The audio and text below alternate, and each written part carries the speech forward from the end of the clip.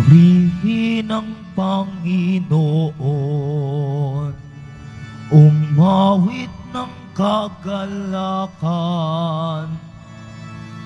at tugtugin ang gitara at ang kaaya-ayang lira.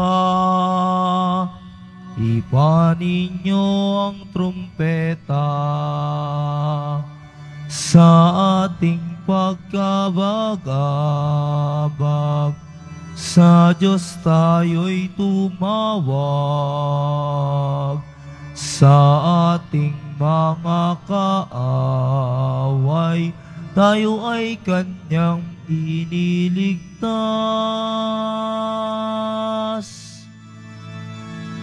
Purihin ang Panginoon,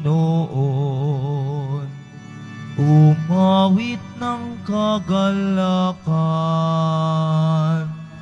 at tugtugin ang gitara, at ang kaaya-ayang lira. Ipanin niyo ang trumpeta. Simulan po natin ang ating pagdiriwang sa ngalan ng Ama at ng Anak at ng Espiritu Santo. Amen. Ang pagpapala ng ating Panginoong Kristo, ang pag-ibig ng Diyos Ama at ang pakikipagkaisa ng Espiritu Santo naway sumainyong lahat. At sumaiyo rin. Mga kapatid kay Kristo at mga kadiboto, sa araw na ito ay ating ginugunita si San Francisco de Sales, obispo at pantas ng simbahan.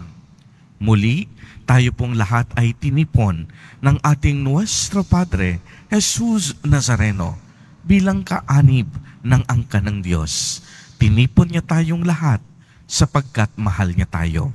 Kaya dumulog po tayo sa ating maawaing Panginoon na nagpapatawad ng lubos. Sinugong tagapagpagaling sa mga nagsisisi, Panginoon, kaawaan mo kami. Panginoon, kaawaan mo kami. Dumating na tagapag-anyayang mga makasalanan na ay magsisi, Kristo, kaawaan mo kami. Kristo, kaawaan mo kami. Nakaluklok ka sa kanan ng Diyos Ama para ipamagitan kami. Panginoon, kaawaan mo kami. Panginoon, kaawaan mo kami. Kaawaan tayo ng makapangyarihang Diyos. Patawarin tayo sa ating mga kasalanan at patnubayan tayo sa buhay na walang hanggan. Amen. Manalangin tayo. Ama naming makapangyarihan, upang mailigtas ang mga hinirang mo, niloob mong ang obispong si San Francisco ay makibagay sa lahat ng tao. Ipagkaloob mong ang kanyang pagkauliran sa matiyagang pagmamalasakit sa kapwa ay lagi naming maipamalas sa paglilingkod sa aming kapatid sa pamamagitan ni Yesu Kristo kasama ng Espiritu Santo magpa sa walang hanggan. Amen. Magsiupo po ang lahat. Pagbasa mula sa ikalawang aklat ni Samuel. Noong mga araw na iyon, sinabi ng Panginoon kay Nathan, Ganito ang sabihin mo kay David, Ipagtatayo mo ba ako ng tahanan? Mula nang ilabas ko sa Ehipto ang Israel, wala pa akong bahay na masasabing akin. Hanggang ngayon, tolda pa ang aking tahanan. Kahit lagi akong kasama ng Israel, wala akong sinabing anuman sa sinumang hukom tungkol sa tahanang Sedro na dapat kong tirahan.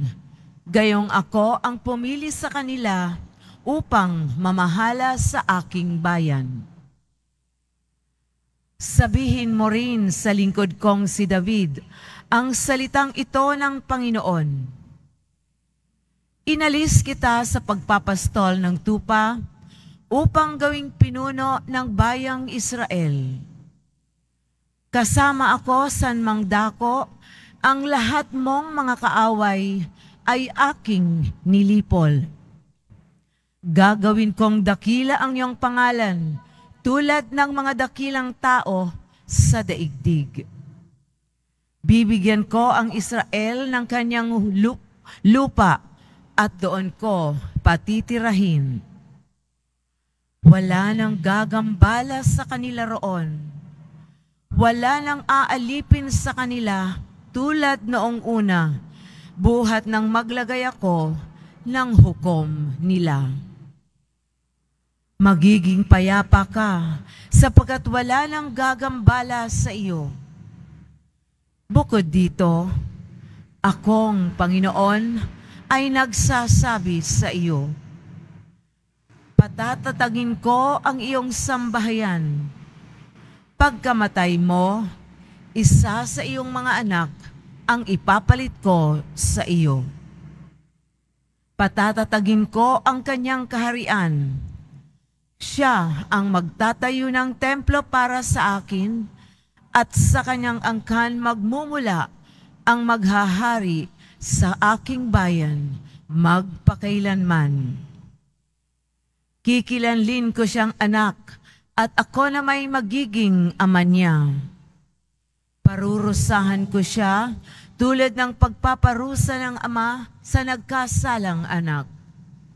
Ngunit ang paglingap ko sa kanya'y hindi magbabago. Di tulad ng nangyari kay Saul. Magiging matatag ang iyong sambahayan. Ang iyong kahari ay hindi mawawaglit sa aking paningin at mananatili ang iyong trono. Isinaysay ni Nathan kay David ang lahat ng sinabi sa kanya ng Panginoon.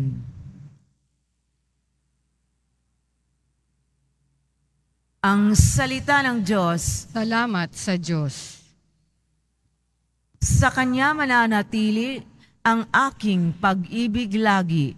Sa Kanya mananatili ang aking pag-ibig lagi.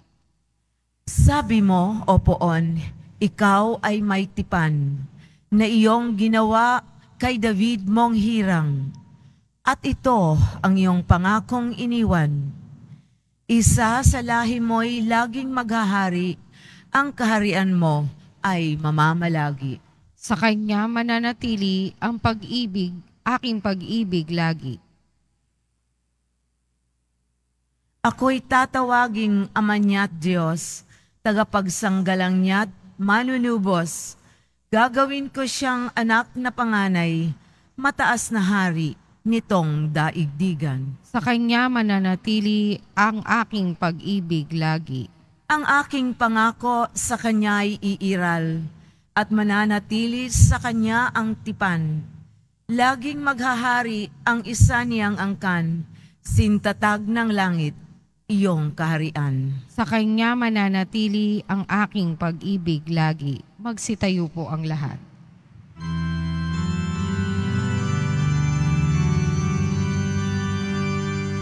Alleluia.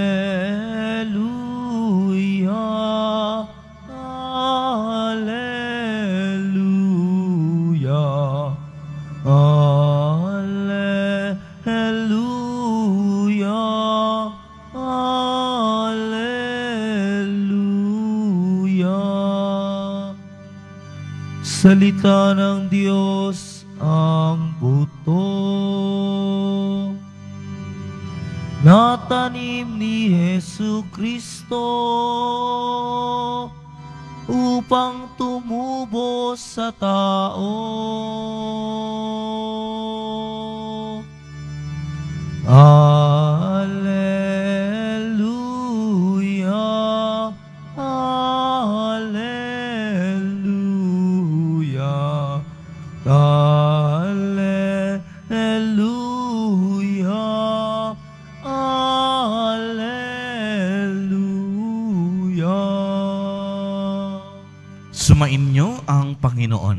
sumaiyo Ang mabuting balita ng Panginoon ayon kay San Marcos. Papuri sa iyo, Panginoon. Noong panahong iyon, muling nagturo si Jesus sa tabi ng lawa ng Galilea, pinagkalipunan siya ng napakaraming tao. Kaya't lumulan siya sa isang bangkang nasa tubig at doon ay naupo. Ang karamihan na may nasa dalampasigan, nasa gilid na ng tubig at sila'y tinuruan niya ng maraming bagay sa pamamagitan ng talinhaga. Ganito ang sabi niya, Pakinggan ninyo, may isang magsasaka na lumabas upang maghasik. Sa kaniyang paghahasik ay may binhing nalaglag sa daan. Dumating ang mga ibon at tinuka ang mga iyon. May binhi namang nalaglag sa kabatuhan. Agad sumibol ang mga iyon sapagkat manipis lamang ang lupa doon. Ngunit nang tumindi ang sikat ng araw, nalanta at natuyo ang binhing tumubo. Palibhasay, walang gaanong ugat. May binhi namang nalaglag sa dawagan. Lumago ang mga dawag at ininis ang mga binhing tumubo kaya hindi nakapamunga at may binhing nalaglag sa matabang lupa at ito'y tumubo, lumago at nag-uhay ng mainam. May uhaw na tig tatatlumpu, tig aanim na po, at tig sa sandaan ang butil.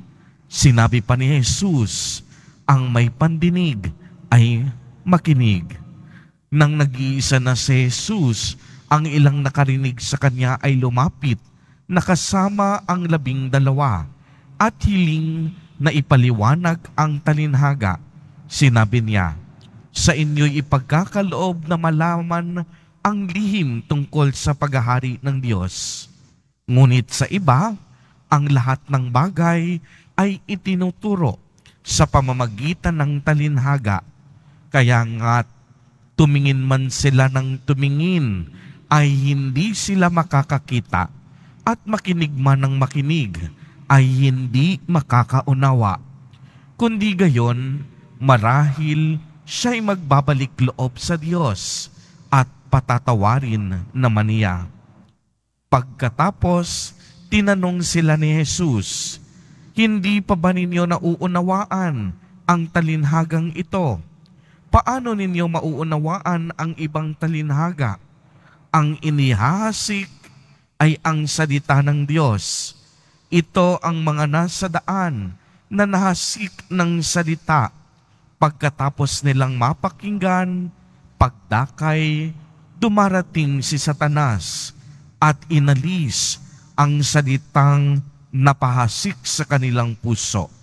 Ang iba'y tulad naman ng napahasik sa kabatuhan. Pagkarinig ng salita, agad nilang tinanggap ng may galak.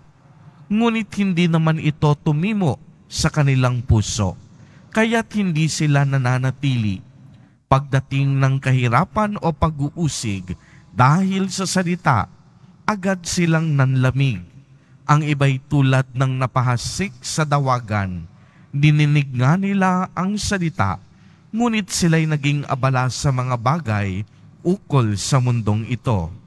Nang maibigan sa mga kayamanan at mapaghangad sa iba pang mga bagay, ano pat ang salita'y nawala ng puwang, sa kanilang mga puso. Kaya't hindi sila nakapamunga. Ngunit ang iba'y tulad ng binhing napahasik sa matabang lupa. Pinakinggan nila at tinanggap ang salita at sila'y nagsisipamunga. May tig tatatlumpu, may tig aanim na po, at may tig sa sandaan ang mabuting balita ng Panginoon. Pinupuri ka namin, Panginoong Heso Kristo. Magsiupo po ang lahat. Magandang umaga po sa inyong lahat mga kapatid kay Kristo. Sa lahat po ng ating mga taga-subaybay sa iba't ibang online platforms at sa lahat ng ating mga kadiboto sa iba't ibang panig ng Pilipinas at maging sa buong mundo, kung saan tayo ay naaabot ngayon ng ating live streaming. Mapayapang umaga din po sa inyong lahat. Purihin at dakilain natin ang ating Panginoon, ang mahal na poong Jesus Nazareno. Mga kapatid kay Kristo at mga kadiboto, malugod po namin kayong tinatanggap sa Basilika Menor at Pambansang Dambana ni Jesus Nazareno. Ang ating ebanghelyo po sa araw na ito ay tungkol sa talinhaga ng mga hasik.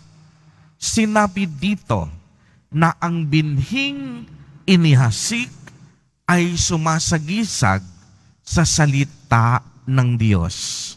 Ang mga hasik ay ang ating Panginoong Diyos mismo. At ang iba't ibang klase ng lupa ay kumakatawan sa iba't ibang klase ng puso na tumatanggap sa salita ng Diyos. Dahil nga po iba't iba ang klase ng puso, magkakaibang pagpapahalaga at pagtugon din ang ating ipinapamalas sa pagtanggap natin sa salita ng Diyos. Kung mapapansin po natin ang bawat klase ng lupa, nakinig ang lahat. Subalit kinalaunan ay iba ang mga nangyari. Ibig sabihin nito, habang pinakikinggan natin ang bawat mensahe ng Diyos, nagkakaroon ito ng marami at malalim na epekto. Depende sa kakayahan ng puso natin na tumanggap. Kaya narinig natin, una, may binhing itinanim sa daan na nanangahulugang mga taong nakinig sa salita ng Diyos dumating ang Diablo at panunokso, agad nagpatalo at nagpadaig. Ano ang nangyari? Inalis sa kanilang puso ang salita ng Diyos upang hindi sila manadig at maligtas. Ikalawa, may mga binhing nalaglag sa batuhan. Ibig sabihin, nakinig din sila ng salita ng Diyos at tumanggap ng may galak. Ngunit, hindi naman tumimo sa kanilang mga puso. Naniwala sandali, subalit sa panahon ng kaunting pagsubok ay tumiwalag agad. Nagsimba, nagdasal, ngunit kaunting pagsubok lamang hindi na bumalik pa sa pananampalataya. Ibig sabihin, agad pinanghinaan ng loob. Ikatlo, may mga binhing nahasik sa dawagan. Nakinig din sila ng salita ng Diyos, ngunit nang malauna ay nadaig na sila ng mga alalahanin sa buhay at ng pagkahumaling sa kayamanan at kalayawan. Kaya't ano po ang nangyari? Hindi nahinog ang kanilang mga bunga. Maaaring dito napakinggan nila ang salita ng Diyos. Pinakinggan sila sa kanilang panalangin. Nagkaroon ng kaunting kayamanan Ngunit imbis na sa pananampalataya kumapit, umasa na sa luho at yaman ng buhay. Pinasaya na sila ng kinang ng kaunting kapangyarihan at kayamanan. At ang ikaapat, may mga binhing nahasik sa mataba o mabuting lupa nakinig sa salita ng Diyos, iningatan ito sa kanilang mga pusong tapat. Malinis ang kanilang intensyon at sila'y nagtiyaga hanggang ito ay mamunga. Nagmahal, nagsakripisyo at hindi sumuko sa anumang pagsubok Tanging sa Diyos lamang kumapit, tanging sa Diyos lamang umasa, nanatiling naglilingkod, magtag-araw man o magtag-ulan. At ito po ang klase ng lupa na inaasahan sa bawat isa sa atin. Kaya nga po ang magandang katanungan sa araw na ito, paano natin pinakikinggan ang salita ng Diyos? Alalahanin po natin, tayo po ay itinanim sa iba't ibang paraan upang ang salita ay magbunga sa ating mga puso. Namunga na ba tayo? O mamumunga pa lamang? Nananatili ba tayong matatag sa ating pagkaugat sa lupa? May naging epekto na ba ang ating mga napakinggan? O baka naman, agad-agad tayong sumusuko kahit na sa maliliit na pagsubok ng buhay. Mga kapatid kay Kristo at mga kadiboto, lagi po nating tatandaan na ang salita ng Diyos ay banal at makapangyarihan. Ang salita ng Diyos, ito ay para sa lahat. Maging mayaman man o mahirap, makasalanan o banal, maging professional ka man o walang pinag-aralan, tanyag ka man o hindi kilala, hindi tayo pinagdamutan ng Diyos sa kaniyang banal na salita. Maging makasalanan man ay hinahasi ka ng binhi mula sa Diyos upang sa gayon magkaroon ng puwang ang pagbabago sa kanilang mga puso. Kaya't isang napakahalagang salita ang pagninilay na wag nating kakalimutan sa araw na ito. Mamunga. Mamunga nawa tayo. Naway sa ating pakikinig, magkaroon tayo ng bunga at naway maging handa lagi ang ating mga puso sa pagtanggap ng salita ng Diyos upang sa gayon tayong lahat maging karapat dapat na magmana sa kanyang kaharian sa langit. Amen. Purihin at dakilain natin ang ating Panginoon, ang mahal na poong Jesus Nazareno. Magsitayo po ang lahat.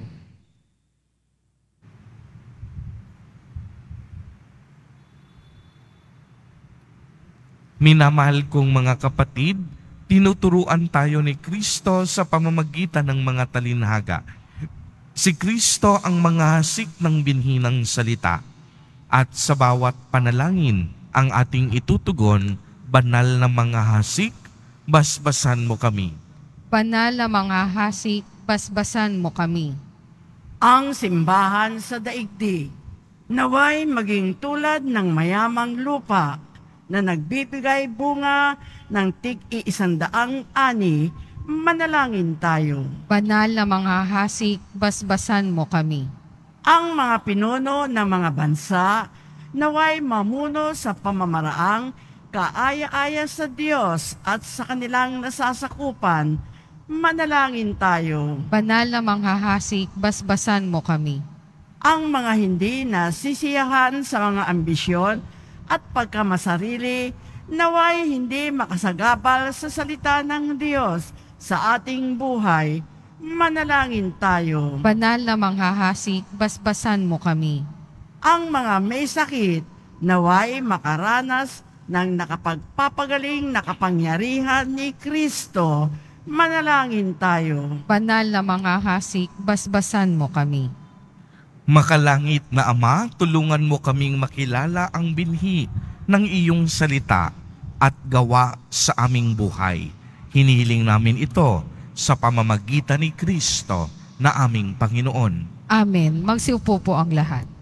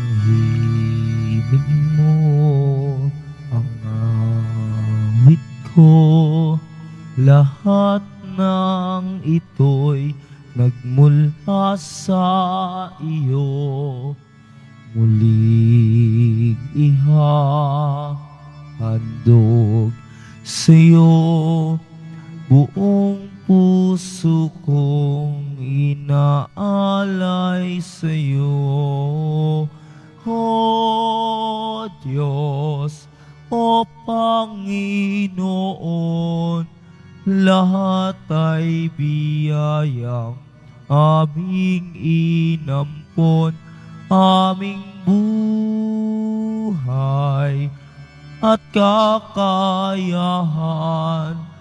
Ito'y para lamang sa iyong kalwalhatian. Magsitayo po ang lahat. Manalangin kayo mga kapatid upang ang paghahain natin ay kalugdan ng Diyos amang makapangyarihan. Tanggapin nawa ng Panginoon itong paghahain sa iyong mga kamay sa kapurihan niya at karangalan sa ating kapakinabangan at sa buong sambayanan niyang banal. Ama naming lumikha, sa ginanap naming paghahaing nagdudulot ng kaligtasan, ang aming puso ay pagningasin nawa ng iyong Espiritu Santo na nagpaalab kay San Francisco upang siya'y umamo at makaakit ng mga nagmamahal sa iyo. Sa pamamagitan ni Yesu Kristo kasama ng Espiritu Santo magpasawalang hanggan. Amen. Sumainyo ang Panginoon. At sumaiyo rin. Itaas sa Diyos ang inyong puso at diwa. Itinaas na namin sa Panginoon. Pasalamatan natin ang Panginoong ating Diyos. Marapat na siya ay pasalamatan. Ama naming makapangyarihan, tunay ngang marapat na ikaw ay aming pasalamatan sa pamamagitan ni Yesu Kristo na aming Panginoon. Ngayong si San Francisco ay pinararangalan sa pamumuhay niyang totoong uliran at pagiging maaasahan sa panunungkulan. Kaya't si Yesu Kristo na maaasahan sa katapatan ay inihahayag sa pangangasiwa sa sambayanan. Ang malasakit ng mga ulirang tagapangasiwa noon ay nagpapatuloy magpahanggang ngayon sa mga panalangin kanilang iniuukol kaisa ng sambayanan mong dito'y natitipon, kaya kaisa ng mga anghel na nagsisiawit ng papuri sa iyo, nang walang humpay sa kalangitan, kami nagbubunyi sa iyong kadakilaan. Santo, Santo, Santo, Panginoong Diyos ng mga hukbo, napupuno ang langit at lupa ng kadakilaan mo, o sana sa kaitaasan. Pinagpala ang naparirito sa ngalan ng Panginoon, o sana sa kaitaasan. Magsilod po ang lahat. Ama naming banal, ikaw ang bukal ng tanang kabanalan, kaya't sa pamamagitan ng iyong Espiritu ay gawin mo pong banal ang mga kaloob na ito upang para sa amin ay maging katawan at tugo ng aming Panginoong Heso Kristo. Bago niya pinagtiis ang kusang loob na maging handog, hinawakan niya ang tinapay, pinasalamatan kaniya, pinagati-hati niya iyon, iniabot sa kaniyang mga alagad at sinabi, Tanggapin ninyong lahat ito at kanin. Ito ang aking katawan na ihahandog para sa inyo.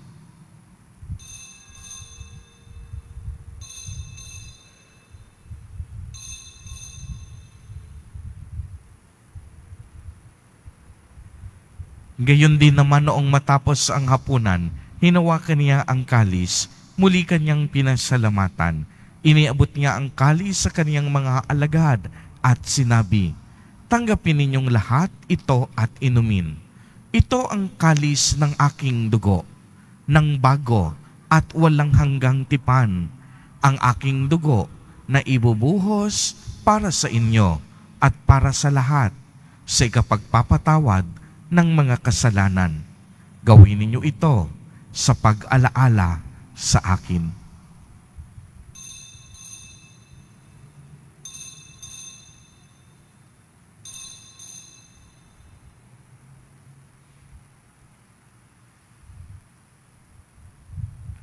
Ipagbunyi natin ang misteryo ng pananampalataya. Si Kristo'y namatay, si Kristo'y nabuhay, si Kristo'y babalik sa wakas ng panahon. Ama, ginagawa po namin ngayon ang pag-alaala sa pagkamatay at muling pagkabuhay ng iyong anak. Kaya't iniaalay namin sa iyo ang tinapay na nagbibigay buhay at ang kalis na nagkakaloob ng kaligtasan. Kami po'y nagpapasalamat dahil kami iyong minarapat na tumayo sa harap mo para maglingkod sa iyo. Isinasamo namin na kaming magsasalo-salo sa katawan at dugo ni Kristo ay mabuklod sa pagkakaisa sa pamamagitan ng Espiritu Santo. Ama, ningapin mo po ang iyong simbahang laganap sa buong daigdig. Puspusin mo kami sa pag-ibig kay isa ni Francisco na aming Santo Papa at ni Jose na aming Obispo at ng Tanang Kaparian. Alalahanin mo rin ang mga kapatid naming nahimlay nang may pag-asang sila'y muling mabubuhay, gayon din ang lahat ng mga pumanaw. Kaawaan mo po sila at patuloyin sa iyong kaliwanagan. Kaawaan mo at pagindapatin kaming lahat na makasalo sa iyong buhay na walang wakas, kaisa ng mahal na Birheng Maria na ina ng Diyos, ng kabiyak ng puso niyang si San Jose, kaisa ng mga apostol ni San Juan Bautista, San Lorenzo Ruiz de Manila at San Pedro Calungsod, at ng lahat ng mga banal na namuhay dito sa daigdig ng kalugod-lugod sa iyo. Maipagdiwang nawa namin ang pagpupuri sa ikararangal mo sa pamamagitan ng iyong anak na aming Panginoong Heso Kristo. Sa pamamagitan ni Kristo, kasama niya at sa Kanya, ang lahat ng parangal at papuri ay sa iyo, Diyos amang makapangyarihan, kasama ng Espiritu Santo, magpa sa walang hanggan. Amen. Sa tagubilin ng mga nakagagaling na utos at turo ni Jesus na Panginoon natin na Diyos, ipahayag po natin ng lakas loob. Ama namin, sumasalangit ka. Sambahin ang ngalan mo, mapasa amin ang kaharian mo, sundin ang loob mo dito sa lupa para nang sa langit. Bigyan mo kami ngayon ng aming kakanin sa araw-araw at patawarin mo kami sa aming mga sala para ng pagpapatawad namin sa nagkakasala sa amin at huwag mo kaming ipahintulot sa tukso at iadya mo kami sa lahat ng masama. Hinihiling namin na kami iadya sa lahat ng masama, pagkalooban ng kapayapaan araw-araw, iligtas sa kasalanan at ilayo sa lahat ng kapahamakan, samantalang aming pinananabikan ang dakilang araw ng pagpapahayag ng tagapagligtas naming si Heso Kristo. Sapagkat iyo ang kaharian at ang kapangyarihan at ang kapurihan magpakailanman. Amen. Panginoong Iso Kristo, sinabi mo sa iyong mga apostol, Kapayapaan ang iniiwan ko sa inyo. Ang aking kapayapaan ang ibinibigay ko sa inyo. Tunghayan mo ang aming pananampalataya at wag ang napakarami at paulit-ulit naming pagkakasala. Pagkalooban mo po kami ng kapayapaan at pagkakaisa ayon sa iyong kalooban kasama ng Espiritu Santo magpa sa walang hanggan. Amen. Ang kapayapaan ng Panginoon ay laging sumainyo. At sumaiyo rin. Magbigayan po tayo ng kapayapaan sa isa't isa.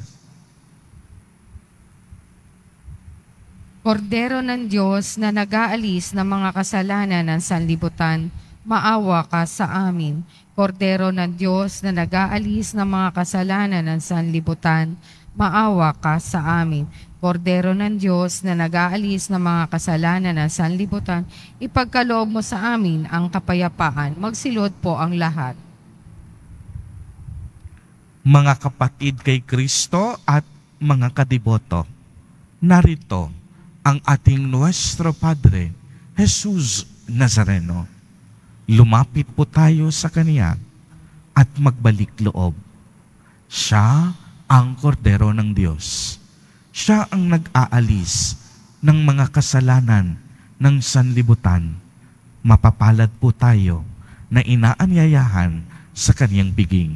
Panginoon, hindi ako karapat-dapat na magpatuloy sa iyo, ngunit sa isang salita mo lamang ay gagaling na ako. Ipagsanggalang nawa ako ng katawan at dugo ni Kristo para sa buhay na walang hanggan. Amen.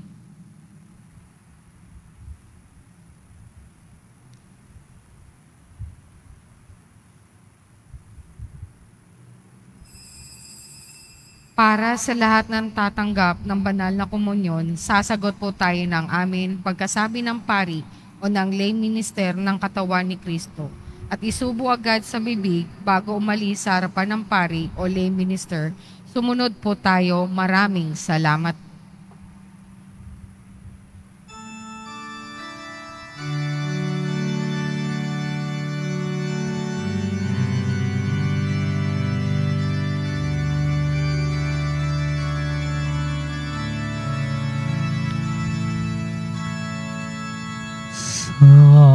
Diyos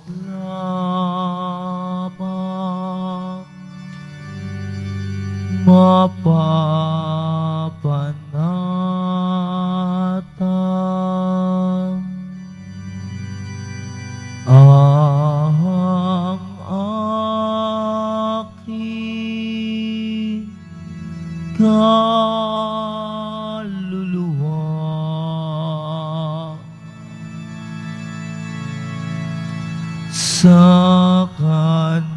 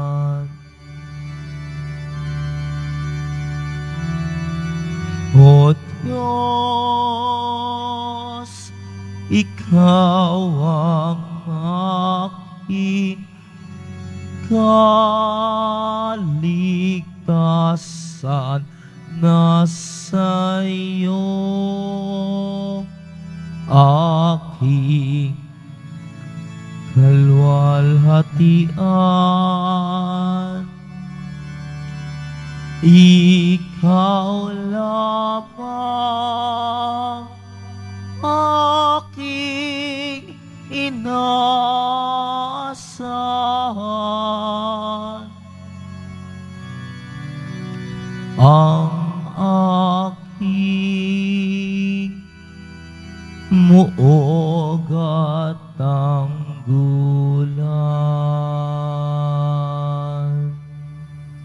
Sa lahat po na may mga lumang palaspas na ginamit noong linggo ng palaspas, maaari nyo na pong dalhin sa simbahan ang mga ito. Ito po ay susunugin sa darating na February 13, 2024 Martes, bago ang Miyerkules ng Abo sa February 14, 2024. Inihahandog na simbahan ng Quiapo ang Nazareno Medalyon. Ito po ay nagkakahalaga ng 20 pesos. Mabibili pa rin po ang ating opisyal na imahe ng Jesus Nazareno. Ang large size ay nagkakahalaga ng 2,500 pesos, ang medium size ay 1,000 pesos, at ang small size ay 600 pesos. Ang mga ito po ay mabibili lamang sa ating parish office, parish finance office. Ang malilikom po na pondo ay gagamitin sa pagsasaayos ng ating Adoration Chapel at Baptistry. Pagkatapos po ng wisa, bibisikan po ang lahat ng banal na tubig. Pinakikiusapan po ang lahat na manatili lamang muna sa inyong mga lugar. Tanging sa Quezon Boulevard o sa Plaza San Juan lamang ang labasan ng lahat. Sumunod po tayo. Maraming salamat po sa inyong pagdalaw at pagsisimba sa Basilica Menor at Pambansang Dambana ni Jesus Nazareno. Magsitayo po ang lahat. Manalangin tayo. Ama naming mapagmahal, ipagkaloob mong ang tinanggap naming banal na pakikinabang ay magtaguyod sa aming pagtulad sa pag-ibig at matiyagang pagmamalasakit ni San Francisco, upang aming makamtan ang kaluwalhatian sa piling mo sa pamamagitan ni Yesu Kristo kasama ng Espiritu Santo magpa sa walang hanggan. Amen. Sumainyo ang Panginoon. At sumaiyo rin. pagbabasbas. Mahal na poong Jesus Nazareno, inihayag mo sa pamamagitan ng krus ang walang maliw na pag-ibig ng Diyos sa sangkatauhan. Pakinggan mo ang kahilingan ng iyong angkan na nagsusumamo sa iyo. Makamtanawa nila ang iyong katugunan at tanggapin ang kasagutan na may utang na loob na tinatanaw. Basbasan din po ninyo ang mga daladala nilang mga imahen at dasalan. Sa pamamagitan ng bendisyon na ito, naway maalala nila ang mga pangako nila noon sa binyag na ikaw ang kanilang iibigin at paglilingkuran bilang Panginoon magpa sa walang hanggan Amen. at pagpalain po kayong lahat at ng inyong buong pamilya ng makapangyarihang Diyos, Ama, Anak, at Espiritu Santo. Amen. Humayo kayong taglay ang pag-ibig at kapayapaan ng poong Jesus Nazareno. Salamat sa Diyos.